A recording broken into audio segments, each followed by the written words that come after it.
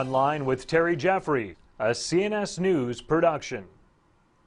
Hi, and welcome to this edition of Online with Terry Jeffrey. Our guest today is Ben Shapiro, author of Primetime Propaganda The True Hollywood Story of How the Left Took Over Your TV. Ben is a native of Hollywood. He graduated from UCLA and Harvard Law School. At the age of 17, he became the youngest syndicated columnist in the United States with the Creator Syndicate, and you can read his column, by the way, on cnsnews.com. He has previously written the best selling books Brainwash, Porn Generation, and Project President. Ben, thanks for coming in. Hey, thanks so much for having me. Really appreciate it. You know, your, your family uh, sounds a little bit like mine. When I was a kid, I was a generation older than you, but when I was a kid, my parents didn't want me watching primetime entertainment TV. They wanted to keep us away from that stuff. Uh, but your family was like that, but you lived right in Hollywood. Oh, yeah. I mean, I grew up in Hollywood. Both my parents work in the industry. Uh, my mom is a, uh reality TV basically producer. She does business affairs on shows like Hell's Kitchen. Uh, my dad does uh, music for film and TV. Uh, but they but they were very focused on look, you're not going to watch The Simpsons, you're not going to watch Friends. We're going to go out, we're going to rent episodes of The Waltons. We'll go out and rent episodes of Dick Van Dyke. So I grew up on kind of classic TV. And you, you believe your parents were right. Yeah, no, they- they're totally right. I mean, that doesn't. The, the problem is, it didn't really stop me from watching. Right? This is this is sort of the conservative dilemma, right? We all, we all know what we ought to be watching, and then there's kind of what we watch when we go home and kick off our shoes at night. And very often we end up watching Will and Grace and Friends and the same kind of shows that the rest of the country is watching in the in the heavy urban areas. But, but, but literally from birth, you were someone who grew up in and around Hollywood Yeah. and understand the Hollywood experience and have seen it pretty close up. Oh yeah, I mean, my mom. You know, she, we have four kids in our family. If you have four kids in Hollywood, that's the equivalent of having twelve kids anywhere else. I mean, that's that's just how could you possibly have four children? It's unbelievable. I mean, when when people talk about the American dream being you know, two and a half kids and a, and a white picket fence, in Hollywood it's like half a kid and, a, and a white picket fence. Yeah, so half a kid if he makes it. right, exactly. Well, um, tell me a little bit about how you did this book. I think you know. Tell me about how you, you put this together and the research and the reporting you did. On Uh, well, I mean, what, what was really fun about doing this book is beyond doing all the kind of archival research and watching the shows and going back and looking uh, at all of the archived interviews with, with some of the older folks. What was really fun is I went behind the scenes and I talked to all the people who made these shows. Uh, and the way that it worked was I I have to admit, I probably took advantage of their stereotyping. Uh, liberals are some of the most bigoted people on the planet, uh, and so they tend to group people by race, gender, ethnicity. Well, for me, I'm obviously Jewish. I mean, that's what the yarmulke is for. Uh, and so when I email them, my last name is Shapiro. I mean, it's a very Jewish last name. I went to Harvard Law School. They probably figured, okay, this guy's for sure a liberal. And when I went into the interviews, I would wear my Harvard Law baseball cap, which, by the way, I've been I've caught flack for that, as though I'm James O'Keefe, you know, dressing up as a pimp.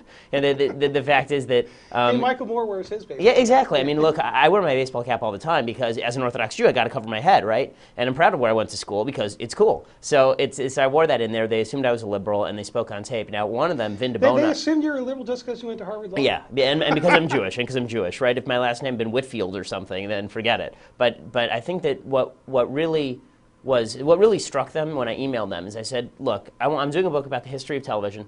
I'm profiling the biggest names in television, and I want to look at the history of social messaging in TV, going from Dick Van Dyke to Sex and the City. Well, that's exactly what the book is about. I think they latched on to biggest names in TV. Mm-hmm. Ego kind of kills in Hollywood, Right. and so these people all wanted to be the biggest names in TV. And Right. so when I said that, they immediately went there and they said, okay, he's safe, he's a liberal. They, they never bothered to Google. The only one I know who Googled was Diane English, who uh, created Murphy Brown, and she refused to do the interview because I was conservative. So most of these people aren't into deep research. No, You have to look at the creator's website and read your column. Yeah, exactly. But for the last 10 years, right? I mean, I, I think that what was really funny is that one of them, Vin Di Bona, who's the producer of America's Funniest Home Videos and MacGyver, I got him on tape saying that he's okay with discrimination against conservatives and he's happy about it, actually, in Hollywood. Mm-hmm. And he came out and he said I was deceitful in obtaining the interview. And what I said, what I said is there, there was, there's no deceit, number one. But number two, what he's really saying is he's ticked off that I didn't tell him I was a conservative. Because if I had told him I was a conservative, he either wouldn't have done the interview or he would have lied. When they speak to their friends behind closed doors, that's what's in primetime propaganda, right? This is what they say when they think that they're speaking to people with whom they agree. This is a real story about Hollywood and the TV industry, not only from your personal experience, but from this very deep research and all these interviews and really going through it. This is a history of what really happened. yeah, Now, um, one of the things looking at your book, it, it'll remind people is how new an industry television is. In, in other words, you know, my parents were born in the 1920s. They didn't grow up with TV. Right. TV was something that happened when they were adults. They'd already been through World War II. Talk a little bit about the start of the TV industry and. I mean, when did it really start Yeah, as a popular phenomenon? I mean, just like every other industry, it was started by conservatives. You know, the mm-hmm. people who created TV are people like General Sarnoff, who worked, who was a general under Dwight Eisenhower during World War II. And it started by people like Bill Paley, who was kind of a quasi-conservative. Leonard Goldenson was a liberal, but he was also, you know, a, a quintessential kind of Jewish entrepreneur. Uh, so the, it was started by mostly conservative people, or at least people who had a conservative business sense. And it started off with radio. When you hit the 50s, then TV really starts to take off in the aftermath of World War II. Right, there's a booming economy. People can afford TVs. It starts to become cheaper and cheaper as a medium. Uh, in order to, I mean, it used to be that when you bought a TV, it was the equivalent of, of spending, you know, probably five thousand dollars now on a TV. Then it automatically, then it started to become cheaper. So in the late 1940s, middle class families couldn't afford that, that's right. It was a very upper class phenomenon, and the programming reflected that. I mean, they actually had opera on Sundays on TV. They, they had symphony symphony concerts on And- TV. and, it was an East Coast thing. I mean, the production. Very New York, very, very New York, right? It was all vaudeville people. Um, even uh, the, the, the popular programming at the very beginning, it was all old vaudeville people, old radio people, um, and largely Jewish, uh, largely socialistic in terms of the creatives. But because the executives were all conservative, you ended up with kind of this happy medium. The executives kind of quashed it and said, look, we have to. The, the idea was, the, the whole idea of TV changed. Now TV is not considered a guest in the home. TV is considered part of the home, and they can do whatever they want, and they can message it however they want. When they first created television, they really saw it as we are guests in your living room. And so the last thing as a guest that we can afford to do is offend you. You, you think the uh, people like uh, General Sarnoff felt they had a moral responsibility as well as they were trying to make money, plus there was certain moral responsibility that went along with the product they were selling? I, I think that it, it was, for them, I think it really was just trying to make money, but I think that they knew that there was a certain broadcasting responsibility to families and to upholding traditional American values. I think the creators felt a different sort of responsibility, which is the responsibility to change the status quo, which has always been their kind of MO. So, so right, right from the beginning, uh, although the, the, the capitalists and entrepreneurs who were starting the television industry had essentially conservative sensibilities, the people they hired to produce the programming Yeah. did not. That's right. They, they, they were all entertainment people, and entertainment folk, you know, tend to be liberal. Now, how did that relationship get inverted, or how did it change? Yeah, I mean, the, the way that it changed is over the course of the 1950s and 60s, the advertising industry starts to get more and more involved with television. Originally, television was actually television programming was created to actually sell TV sets. That's how they made their money. Was actually on the set, right? Uh-huh. Then it became as TV sets became cheaper and cheaper, it became an advertising medium, or as Bill Paley called it, the best cigarette selling machine in the world, right? It, it, it was all about selling product now. And so originally, the, the advertisers themselves had a lot of control over the medium because it was one advertiser per, per show, right? It was all block programming. That's why you had the General Electric hour, mm-hmm. right? And, and so the advertisers didn't want to offend anyone either. Mm-hmm. Then TV realizes, wait a second, if we really want to make money here, we need to we need to break it up, and we need to sell advertising spots inside the program. And we need to sell multiple advertising spots. So that puts a lot of control away from the advertisers who can't afford to offend anyone, and to the TV creators who can't afford to offend people. The, the, the broadcasting companies realize this? Yeah, the broadcasting companies realize So this they is a Bill decided they didn't want thing. General Electric Theater. They wanted to be able to sell ads to all, all comers. Right, exactly. They wanted exactly. to open up the market, basically. Exactly. They wanted to open up the market. And, and so what that ended up doing is putting more and more hands in the power of the television networks. Now, at the same time, the advertising agencies are, they, they, they've been churning out people who have been involved in the actual creative content because the early advertising industry, as I said, General Electric, when they did the GE Hour, Right. the, the, the network was actually running the programming by GE. GE was involved in the making of the programming. So there's this. So the, the, the advertising industry starts to push its own executives into the TV industry now, right? It, it wants to kind of maintain a little bit of control, and the people who have had a lot of control in the advertising industry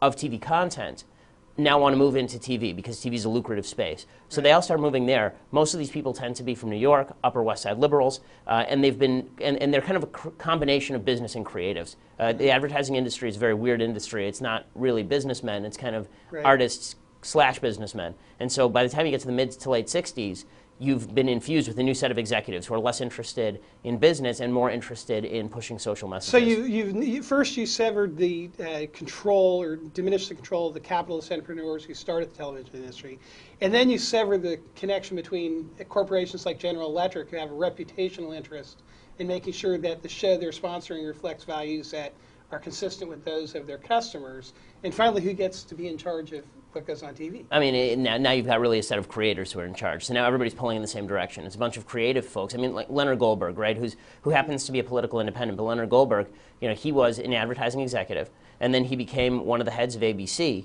Mm-hmm. And then when he moved out of ABC, he became Aaron, Go- Aaron Spelling's partner in Mm-hmm. creative content. That's very common. Right nowadays, you see executives who actually, when they leave the network, they become creatives. So they, they, they are creatives at heart. They, Right. it- it's like a lot of you know editors. Editors want to be authors, um, and, and the same thing holds true. A lot of these executives really, really want to be TV creators. I think there's also a, a ground shift in in really the early 60s with the assassination of Kennedy. When that happens, liberalism in the country as a whole shifts tremendously, and all of a sudden you move from this optimistic, starry-eyed liberalism of Kennedy, you know, we're moving into a new age, to the pessimistic liberalism of the 1960s. Everything's a failure. We have to destroy the entire society and tear it down in order to build it back All right, now up. let, let, let's roll back a little bit. You know, you, you, in the 40s, as, as you chronicle, most American middle class families couldn't own TVs. I, th- I think you write in the book that sometime in the 1950s, you had about 90% of American households there's a TV. Yeah, yeah. So it's pretty, it's pretty much ubiquitous. But you know, if you go back, if you get on Netflix tonight, you, know, you can pull up a lot of 1950s television shows. Mm-hmm. Yeah. And they might have been produced by people who, in your book, you say were liberals Yeah. and had a liberal agenda. But those programs are not liberal. That's right. That's right. Well, Uh, and, why is that? Uh, and that's because of that tension between the executives and the creators at that time. The executives wouldn't let them go very far, Mm-hmm. right? And, and beyond that, they early television was also live, which meant that you really had to be careful in what you put on TV because Right. there was no way to. There was not even a seven-second delay in those days, That- right? that- It- this it went in out. the early 50s. Right, this is in the early 50s. It was totally live. It was produced in New York, which is a more entrepreneurial town. Right. Eh, when, when TV goes taped, there's a, there's a little bit of a shift to the, that, that sort of opens the door because all of a sudden all the creatives basically move out to Hollywood. Well, all when, the when, when does that happen? When does it? So you have this era where you have these live programs dominating. Yeah, late 40s, early 50s, like 52. So so into the mid 50s, it starts to be taped programs. Yeah, it- like 1953, 1954, they start doing taped programming. When that happens, there are a couple things that happen. One, they move all the production studios out to Hollywood, mm-hmm. right? And that separates automatically the executives from the from the creators. The executives can, can't levy as much weight to, to bring it to bear on the creatives. What was your rationale for bringing it out to Hollywood? cheaper. It was cheaper, um, and it, and also the creatives The same reason they take it to Canada. now? Exactly, exactly. They're also, I mean, look, California in those days was, was actually not a socialist paradise, uh, and so it's it, it, it was it's it's kind of interesting. Once they do that, it forms this creative echo chamber, and that's the echo chamber that exists today. All the liberals in Hollywood, you know, believe that they, uh, it's like the New Yorker cartoon, right? Remember that old New Yorker car- cover Mm-hmm. where it shows, you know, on one coast here's New York, and then here's Hollywood, and then in between there's nothing, right? Right. It's about it's about like this big, and there's like a little thing of, of Chicago. That's kind of how they see it. And in Hollywood, it's so insular. Um, and part of the reason that it's so insular is because they've never really had to deal with the business interests. Look, the business of NBC is still run out of 30 Rock, right, in New York, but NBC's production facilities are all in California. So you think when the production was still in New York and the capitalists are right on top of the creatives, it was a little better. Yeah, it, it was. I mean, they, they had to answer to them every day. And remember, nowadays, communication is really easy. But back in those days, and when they were taping the shows, it took a couple days for the, for the you know, or, or you know, a day or two for the, for the film to actually get back to the executives in New York. So to, to produce a full show with, with all the vetting took a little bit more time. They didn't have as much time. So the creatives in Hollywood are able to start pushing the envelope. Not, not a ton, but just a little The, bit. the rein was loosened, so you go to these taped shows. But so, so right, but these these taped programs from the 50s that folks can watch on Netflix. Yeah, those are still those are still relatively you know moderate or conservative. Those are not those are not radically liberal shows. The, the ones that I watch, they seem even if they have elements in them, they'll call them adult content or whatever. Yeah. Ult- ultimately, the message of the show isn't immoral or anti-American. Right. They tend to be patriotic, generally reinforcing some sort of traditional moral value. Mm-hmm. But underneath, there's another tension going. on. Yeah, I think that's right. I mean, I think that it's important to recognize that the liberalism of the 1950s is not the liberalism of the 1970s. So liberals in the 1950s, the ones who are not, you know, on the Soviet payroll, the, the, the, you know, those liberals actually tended to be patriotic liberals. I mean, look, Ronald Reagan at that time was a liberal, right? Right. I mean, the, the, the fact, is, well, in, in, in the 40s anyway. Um, but Gene Kelly, right, was a patriotic liberal. There, there are people who, Elia Kazan was a patriotic liberal. They, that patriotic liberalism was not an oxymoron at that point. They, they loved America and they weren't totally alienated necessarily from the Judeo-Christian moral. Th- that's right, or at least, or at least they, they respected it enough not to openly rip it. And then once you get past the assassination of Kennedy, there's a fundamental rejection of everything American. I mean, it, it, it really takes place. I really believe in, in the aftermath of that. It was as though Kennedy was the embodiment of all that was good about America, and when he was shot, the left immediately blamed the right wing, which was you know insane because it was obviously a communist who did it. But they, they immediately said, well, you know, we have a, a, a basically uh, the entire country is culpable. As a country, we created the climate, right? It's the same thing they did with Gabby Giffords. We created the climate that created this shooting. And the, the death of Kennedy means the death of, of kind of starry eyed aspirational liberalism. And we move into a period where we're going to attack Americans for being racist, sexist, homophobes who exploit people in the third world and like to kill brown people. And, and you, uh, you obviously you had a lot of different things going on in different parts of American culture. You had the anti-war movement, the hippie movement, all sorts of things were happening in the country. But you believe that the people creating entertainment in Hollywood were basically of that mindset. Yeah, The I- 1960s countercultural mindset. they, they were, and I think that they, they were moving in that direction even in the 1950s. But with the with, with the loosening of the reins, really in the mid 60s, with the different set of executives, Mm-hmm. things start to come out a little bit more. I mean, the truth is, even if you watch TV through like 1966, you're still talking about relatively moderate TV. You can, you know, if you watch I Spy with Bill Cosby, right, which is a which is a liberal leaning show only in that it was liberal on race, right? He's the first black. Um, the first black lead Mm-hmm. in on TV, but but the fact is that that show is not offensive to conservatives, right? Right. It's only one. There there are a few that are right. This was the week that was, which is a short-lived kind Mm-hmm. of comedy series in 1964. That one was really extreme, right? The Defenders with E.G. Marshall, which is a good show, was a liberal show. And of course, But- flash forward, you have Bill Cosby having a, a tremendous show. It's all Right. about family and, and tradition. Right, exactly. Um, and it, well, I mean, what, what's so funny about that one is I spoke with Marcy Carsey, and they intended for that to be a liberal show, right? The whole thing was supposed to be we're going. It was kind of a paternalistic liberalism, mm-hmm. right? We're going to show black people what you can accomplish, even if it's somewhat unrealistic. I mean, there are really not a ton of black families in the 1980s mm-hmm. where the father is an obstetrician and the mother's a lawyer, mm-hmm. right? It doesn't- and, and it's a two-family household, and everybody's living in, in you know, But this is becomes an iconic American television. Right, and it, it turns out to be a very conservative show. I mean, when I rank conservative shows at the end of the book, I think Cosby Show comes in like number two because the fact is that Cosby is a conservative ideal. Anybody can make it in America. Race is irrelevant. Uh, a two-parent family household is, is, is the one that counts, right? That's the one that matters, and parents should have the authority in that household, right? And these are very conservative principles. Yeah, but you go back to the 1960s, to the degree that Hollywood is advancing the civil rights movement, equal rights, and equal protection law, that's a good thing. Yeah, absolutely. And conservatives ought to be agreeing with that. But one of the things they're doing that maybe are contrary to traditional American beliefs and values? Uh, well, I mean, I think that they, they start infusing uh, an anti war feel to a lot of their shows. Uh, there are episodes of particular shows that I talk about in the book that are, that are you know, already kind of pushing on the Vietnam issue. Uh, the, there's an, an anti, an anti anti-communism, I would say, feel. I mean, like in Twilight Zone, right? The, the very famous episode, "The Monsters on Maple Street," right? The idea that these it, that we are so paranoid that we're going to kill each other, and the aliens kind of sit off in the distance and and laugh at us or say, you know, this is how humanity destroys itself, right? And the, the, you know, we're hunting down the people in our own town and we're stoning them, right? I mean, that's the which is not really true. I mean, that's not what was going on in America. Even during the so-called Red Scare, nobody was going and you know beating down their neighbor's door with a Ben, with where, a- where, where an do you axe. see the television industry in Hollywood totally coming out of the closet Yeah. as leftists and totally alienated from mainstream America? There's a real hard break in, in the late 1960s. Uh, it starts with Laugh-In. The Smothers Brothers is the first real breakthrough show. Those two shows are really the two, the first two that, that break through and say, okay, we're going to go as hard left as we possibly can.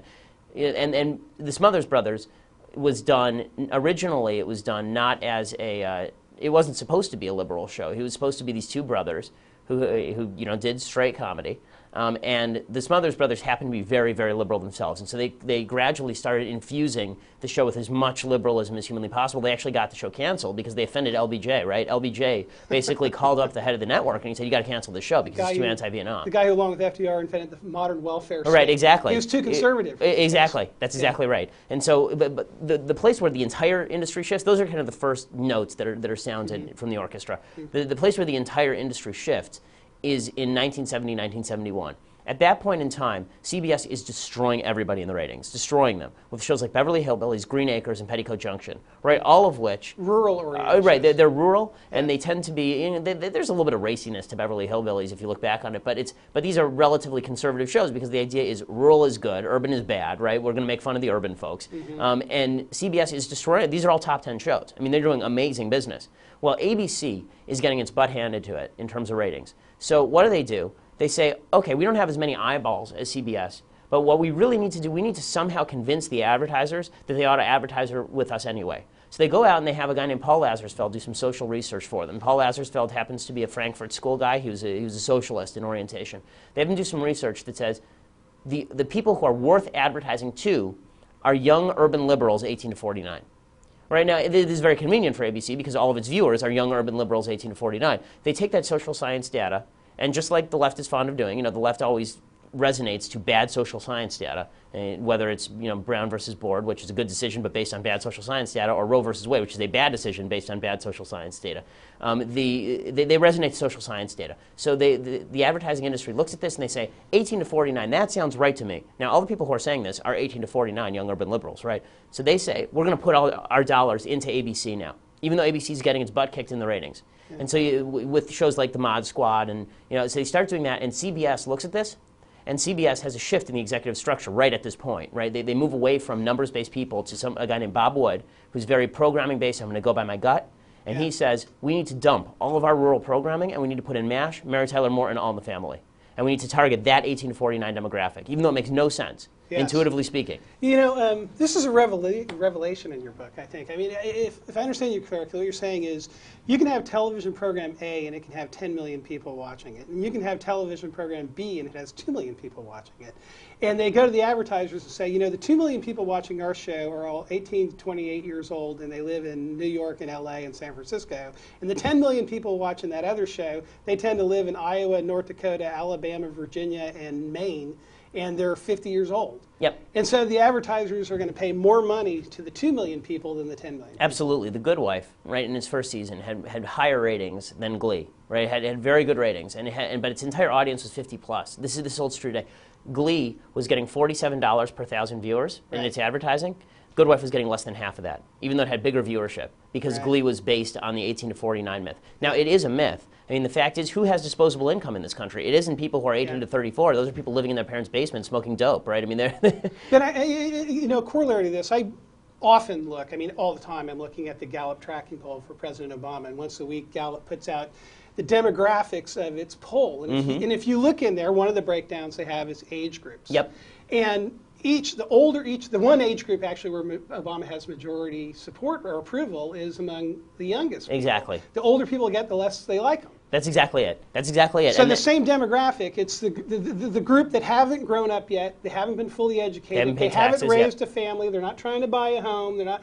They're the ones that Hollywood has convinced the advertising industry they need to reach. Exactly, you're right on the money, and that's why when when that's why it's such a lie when the left says, you know, if you don't like it, turn your channel we can turn our channels, they won't change their programming because right. the, we're not the people who are important to them. The right. people who are important to them are not going to change the channel because they like this stuff. They've rigged it. I mean, the same way that if CNN does a poll that 60% Democrats and 40% Republicans, and then magically Obama has a 62% approval rating, right? That's the same way that the TV industry works. They say, you know, we're going to stack it 18 to 49 oh, look, we have tons of viewers who are in that target age group. Yeah, because that's your target age well, group. Let's step back a, a, little bit. There's the census said there were 308 million people in the United mm-hmm. States last year. Mm-hmm. On any given night, how many people are watching the primetime programming on CBS or ABC or NBC? 30 million, maybe. 30 million. So about 10%. Yeah. 90%, more than 90% of Americans aren't watching that. Yeah. So they're missing something. Yeah, that's that's right. I mean, it, it, and that's that would be a that would be a, a relatively big night to, to uh, yeah, 30, 35 million people. Um, that's the, a lot of people are watching cable now. Um, a lot of people aren't watching TV at all, or they're, they're on the internet. Um, you know, the, the, the, fact is that. But if you put a football, a really good football. Game Well, look, the on, Super Bowl will get you know. 100 million people, right? I mean, uh, 150 million people. They have half the country so watching a very good big football game is many times fold more popular than an entertainment program on a prime Oh yeah, I mean, and, and, the fact is that the most popular programming right now is not scripted TV; it's reality TV. Right. Right. I mean, American Idol is the most popular show on television, and so you know, Dancing with the Stars is incredibly popular too. Mm-hmm. Uh, the Voice is doing pretty well on NBC. The, mm-hmm. the fact is, reality programming tends to do well because the basis of reality programming is competition. Mm-hmm. In, you know, it's a zero-sum game, which is not a conservative idea, but it's a, but it's a competition, which right. is a very conservative idea because there's no affirmative action in any of these competitions, right? If you stink on American Idol, you're not making the finals. It doesn't matter what your backstory is. American Idol actually lets the voters, the, the viewers, vote. Right, exactly. I mean, it's, it's, it's almost ideal republicanism at work, right? It, so, so would you argue there's sort of an opportunity cost that Hollywood's paying here? They're, they're leaving 90% of the potential audience on the table yeah. in order to advance what? In order to advance their agenda. And, in or, and, and, the way that they are able to monetize this is number one, by bamboozling the advertisers, and number two, by focusing on narrowcasting. Mm-hmm. So what they do is they say, okay, we don't have that many eyeballs, but the eyeballs that we have for a particular advertiser are the ones that are important right? So Home and Garden Network. Most people don't watch it. Most people, you know, don't care about it. Mm-hmm. But if you're the Weed Whacker company, those are the people who you want to target. So they've narrowcasted all of these channels, and this is why, by the way, everybody always asks, you know, why are there 800 channels and there's nothing for me to watch? Because they're not targeting you. They're not interested in you, right? I mean, 790 of those channels are not interested in you. Even people who have cable and watch a lot of TV watch maybe 10 or 15 networks. You know, you make a great point that at one point, these television programs coming out of Hollywood were designed so mom and dad and the kids could all watch them together, and they were potentially a bonding thing. Yep. It's passive, you're watching TV, but it's bonding, but that's not the way it is anymore. No, I mean now it's about fragmentation, right? I think that it actually breaks down the family structure because instead it used to be like take the Cosby shows. It's a good example, right? Dad would identify with Bill, and mom would identify with the wife, and the kids would identify with the kids. Not only was everybody watching it together and enjoying it together, but everybody was identifying with the person in the family structure that they ought to be emulating. And the right? values they were transmitting were actually good ones. Right, exactly. Um, and now the way that TV works is that we don't target dad as the dad in the family. We target dad as as basically as though you were a teenage boy, right? I mean, he, we target dad with ESPN, who watches sports, with Spike TV, Mm-hmm. right? Because he wants to, is it because dad is still a guy and he still wants to see, you know, things blowing up in boobs. and and we target mom with Home and Garden, and we target mom with with Lifetime, you know, channel for women. And, and we target the kids with MTV and, and specifically, so everybody's in a different room watching a different set of shows. that's Hollywood's ideal America. If you have the half kid, he's in the other room watching some idiot. That's show. it. That, right. That, that, that's exactly right. Because they, then they can monetize it to that specific, n- you know, niche group. Now that that's from a market perspective, that's justifiable. But from but in a certain sense, it really isn't because you're leaving so much on the table. It's the same reason why Hollywood makes tons of rated R movies because they tend to be lower budget than, than G-rated movies. G-rated movies, you know, have a hundred million dollar budget. You can make an R-rated movie for five million, ten million And bucks. as, as a cultural phenomenon, it's destructive. But let me so let me ask you about the agenda of Hollywood. What they're pushing through the shows.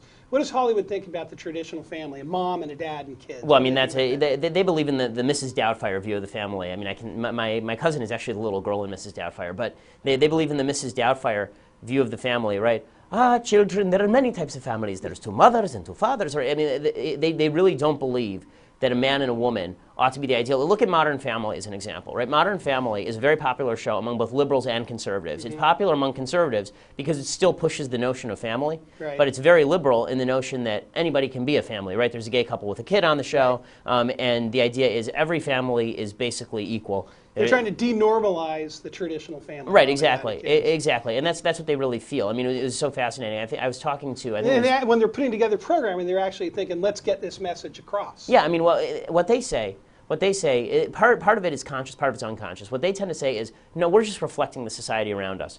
We're not transforming society. We're reflecting society. Mm-hmm. Well, they are to a certain extent. They're reflecting the lives that they lead. They're reflecting the lives that, you know, of the people around them in Los Angeles or San Francisco or New York, which is the place that most mm-hmm. most of these people are from.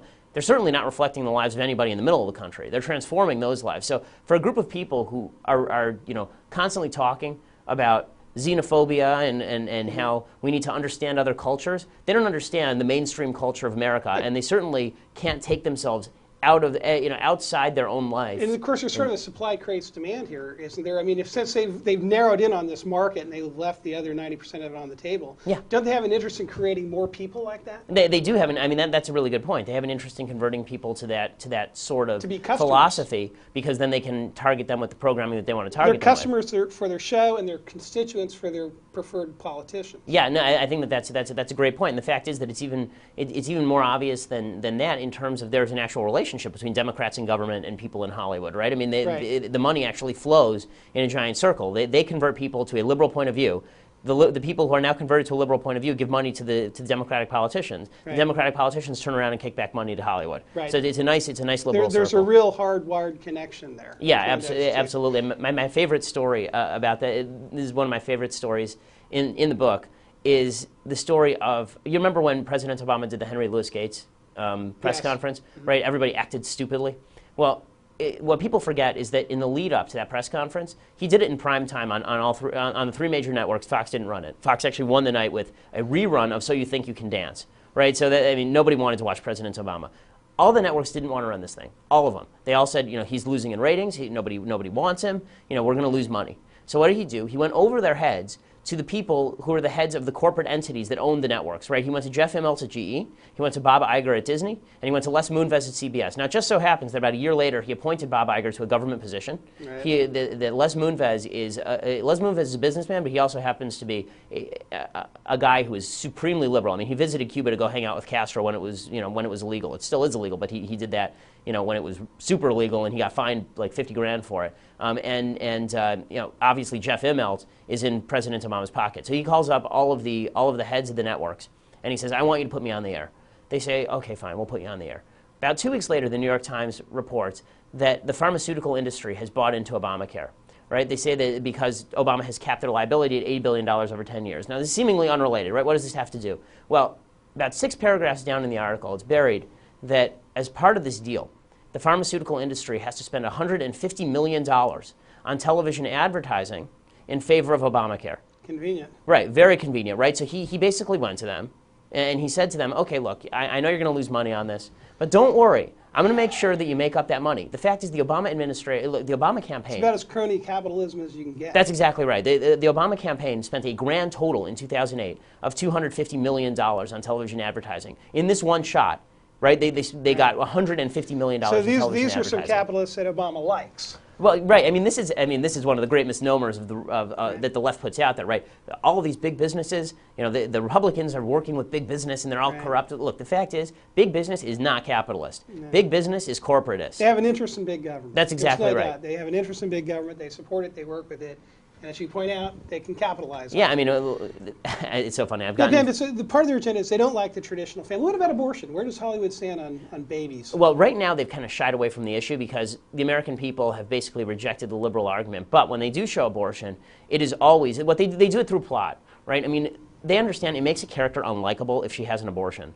So if you're going to do it. If you're going to have a character have an abortion, which has become a lot more rare, in the 1970s it was all over the place, right? Because they were trying to convince people They tried to do it. Right, they tried to do it with with Maude. Right, they tried to do it on All in the Family. They, there are a bunch of abortion episodes in the 1970s, specifically geared toward you know pushing Roe v. Wade. Roe v. Wade is right, and even before Roe v. Wade, there are a bunch of abortion episodes because Roe v. Wade doesn't happen until 73, and there are a bunch of you know episodes from 1970 to 73 on abortion, saying abortion is is basically an affirmative good. Um, nowadays, people recognize they, that even liberals have been backed into a corner, which is why you have Bill Clinton saying it should be safe, legal, and rare, which is an oxymoron if I ever heard it. But, but, he, but, he, he, but basically, the perspective on abortion is if they're going to tackle it, what they do is they skew the plot, right? What the, even conservatives, most conservatives, are okay with abortion in these, unless, unless you're totally Not Catholic me. on the issue. No, abortion only in cases of rape, incest, and where the life of the mother is in danger, Mm-hmm. right? I mean, polls show that, that conservatives tend to make exception Mm-hmm. on, on those three issues. Yeah, I have to say I part. don't. But I, Right, I- you're but- saying politically, if you look at it. Right, poli- politically, those are the, if there are exceptions, those are the ones that people resonate to, right? Uh, especially incest and mother's life in danger. Right. Um, but, but what Hollywood does is whenever they show an abortion case, it is all three, right? It's, it's usually, you know, so this, the, uh, an innocent girl got raped by her father, and now she, and now, you know, her life will be endangered if she has the baby because she has preeclampsia or something, right? I mean, Right. this is, this is, this is what they do, right? They, they, they look then- for the hard case to propagandize. that's exactly right. That's exactly right. I mean, in, in the legal sphere, we say hard cases make bad law, right? That's what they do. They, they create hard cases to make bad law. By the way, and as you may know, here's one place where maybe Hollywood's losing because actually Gallup poll shows that younger people tend to be more pro-life Yeah. than older people. Well, I mean, it's- although the majority of Americans are for protecting babies most of the time. Yeah, exactly. Yeah. Um, and I, I think that th- this is an issue where Hollywood is losing, but I think that you know they, they won legislatively, so they've been on the defensive ever since Roe. I mean, the fact is that Roe was such an enormous victory for them because before Roe, I mean, if Right. you if you if you polled Americans in 1950 on abortion, it's Right. like probably 90-10. They're losing. right? it, I mean, they're losing in the culture. but Right. They're not. They haven't yet lost politically. Right. Which is why they need five people on the Supreme Court Well, th- that's right. I- Abortion has become what they've actually done is they've they've substituted single motherhood for abortion. Right. Single motherhood is now an affirmative good.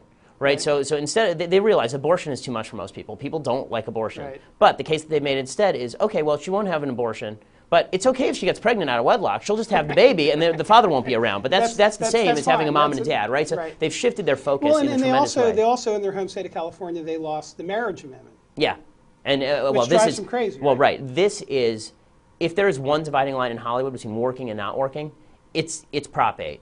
If you contributed to Prop 8, if you believe strongly that marriage should be between a man and a woman, you will not work in That- that- Hollywood. that's a period. End of story. killer. You're It is- blacklisted. you're dead. Patri- look, Patricia if, you, if you if you made it clear that you supported defining marriage as between a man and a woman, which has been since the beginning of the human race, Yes. then you're blacklisted. You're done. Hollywood. You're You done. Absolutely That's it. done. Look, even people who are conservative in Hollywood, you know, the so-called Hollywood conservative contingent, the Don Bellisarios, the Jerry Bruckheimers, they are not socially conservative.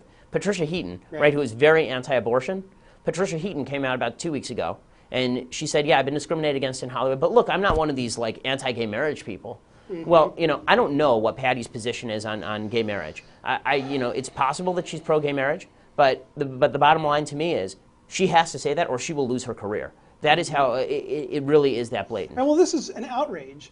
How do you fix it? Well, I mean, I think in that case, what, what we really need to do is sue some people. I mean, because that is that's that's basic religious discrimination, right? That's in violation of Equal Employment Opportunity Commission rules and regulations, because you are not allowed to discriminate on the basis of religion. And let's be real about this: the, for for a lot of people, it is a religious principle that that tr- that marriage should be between a man and a woman. Right. I mean, the the Prop 8 effort was largely bankrolled by the Mormon Church. Right? I mean, there was a lot of Mormon money behind that as a religious principle. So, Right. you know, th- I think lawsuits are one way to do that. But I think that, you know, in terms of fixing the industry as a whole, there are a couple things that we're doing. One is we're putting a ton of pressure on. Well, let me let me roll you back there for a second. Now, you're saying that if you're publicly known as someone who supports traditional marriage and think the law ought to reflect traditional marriage, which is in fact a, a biblical thing. yeah. I mean, there's just no doubt about it. Mm-hmm.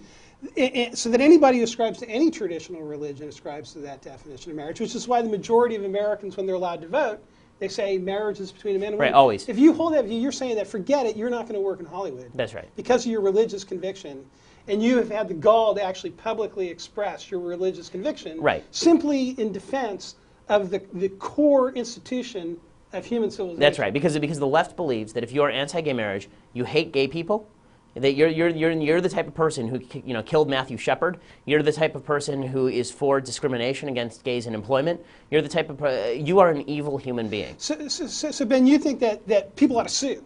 That, Well, that people who are in clear, pro-marriage ought to sue? in, in clear cases of discrimination, I think absolutely. I mean, I think that uh, I'm not. I'm not advocating. Look, I'm, I'm not a, a lawsuit happy guy. I really am not. Um, as a conservative, I despise lawsuits, and as a lawyer, I can tell you most lawsuits are a waste of time. But if you're be, if you lose your job because you come out and say, you know, I gave money to Prop 8, and people have done this, and people have lost their jobs, absolutely you should sue somebody because that is basic discrimination on the basis of religion, and that is inappropriate. And look, liberals have, have used the law as a wedge to, to take over a lot of major institutions. Um, and there's no reason why conservatives shouldn't fight back, especially on the grounds that liberals have been trying to claim for years and years, right? These are the people who say that we're there for tolerance and diversity, but when it comes to political diversity, they're totally uninterested in it, utterly uninterested, right? These are the same people who said McCarthyism was the worst thing in the world. Open communists, people who are being paid by the Soviet government, should be allowed to work in Hollywood. But if you're a traditional conservative, you shouldn't be allowed to work in Hollywood. All right, Ben, on the big picture, no doubt going forward, we have huge technological changes in the delivery of video entertainment. Taking advantage of that, dealing with that, what do people who love America and believe in traditional values, what do they do going forward to make sure they win this battle in the long run? I mean, I think first of all, we need to take entertainment seriously. I mean, this is this is just uh, conservatives tend to be very serious people, and we tend to think idealistically, okay, well, you know what? I will turn off the TV. I'll never watch anything that I don't like. Realistically speaking, people don't do that. People watch TV, um, and so and they watch movies. And you know what? I'd rather go watch a movie like Avatar than I would watch a movie like American Carol. Not because Avatar is pro America, it's tremendously anti America, but because Avatar is a decent movie and American Carol was not a very good movie. So people, when they, when they watch entertainment, they turn off their brains, they turn off their political side. They just want to watch the entertainment, but it shapes our values nonetheless. And narrative is unbelievably effective in pushing a political viewpoint. I mean, I gave this example, I spoke at Heritage Foundation yesterday, and I gave this example. I said, you know, the fact is that every year in America, there are 1,456,000 abortions that take place in the first trimester. Then I told a story about one girl who, you know, she, she wanted to have an abortion because she gotten pregnant out of wedlock. She was 16 years old. She thought that it was going to ruin her life. She goes to the clinic, right, and, she, and there's a girl who's standing outside who's chanting and saying, you know, there's, you can't, your baby has a life of its own. Every baby wants to live. And she kind of ignores it. And then the girl says to her, well, you know, your baby has a heart. And she kind of ignores it. And she says, you know, your baby has fingernails. And the girl says, okay. And she goes inside the abortion clinic. She's going to go through with it. And she starts looking around and she sees people, you know, tapping on the table with their fingernails and biting their fingernails. And, and all of a sudden it occurs to her, oh my God, this is a human being. And she walks out and she doesn't have the abortion. And I asked people, I, I polled the audience, I said, okay, now how many of you remember the statistic that I gave you a minute 30 seconds ago about how many abortions take place in the first trimester? Now, how many of you remember the reason the girl walked out of the abortion clinic? Right. Right, and the narrative works because the fact is that you know the 140, you know, 1,456,000. That's just a statistic to people. It goes in one ear, it goes out the other. But stories work. So conservatives have to start finding good stories and telling them. That's exactly right, and we need to get good at telling them. Right, we need to we need to create in uh, the, the way the left has been able to be so effective is they create characters and storylines we want to spend time with. Right, we spend more time on average with the TV than we do with our own families, right, at night, right? We, we watch two to three hours of TV a night as Americans. That's because they created a set of characters who we like and want to hang out with. And then they take those characters and have them engage in pursuits that we hate, but we like the characters, so we're willing to overlook it and we start to tolerate it. Will and Grace and Ellen have made more difference in the gay rights movement than, you know, gays marching down Westwood, uh, marching down Santa Monica Boulevard in California wearing assless chaps, right? I mean, that's the, the fact is that, that, that entertainment matters. So that's that's the first thing. We need to recognize that, and we need to get involved. We need less, you know, conservative lawyers. We need less conservative dog catchers. We need more conservative scriptwriters. So that last last question, Ben. You're from Hollywood. You grew up there. You know it inside out. Are you going to get involved in producing entertainment? Yeah, absolutely. I mean, I, I've actually signed on to a 501c3 called Declaration Entertainment, um, and Declaration is specifically dedicated to creating film that's great and that happens to have conservative values. And I, I put it that way because I, I, always shy away from conservative entertainment because it implies that the conservatism comes first. The entertainment has to come first or no one's going to watch. So, you know, we're, we're out there fundraising and we're encouraging people to go to declarationentertainment.com and, and you know, sign up for a membership and, and, and start contributing that way. And, you know, we, we're going to do internship programs, teach people how to write scripts. My, my buddy Jeremy Boring is down on the border right now shooting a movie called The Arroyo, which is basically a cross between No Country for Old Men and High Noon um, about illegal immigration. And he's doing it on a, on a micro budget. He's doing it for like 100 grand. Right? It doesn't take a lot of money. The nice thing is that the means of production have gotten so cheap, and the means of distribution via the internet have gotten so cheap that you can make a successful movie for a very small amount of money. But we need to start directing our money and our efforts at, at infiltrating this industry and really making a difference So, pe- so people can go to declarationentertainment.com Yeah. and see what you're doing. And Absolutely. what this organization is doing. Ben Shapiro, author of Primetime Propaganda. Thank you very much. Thanks so much for having me.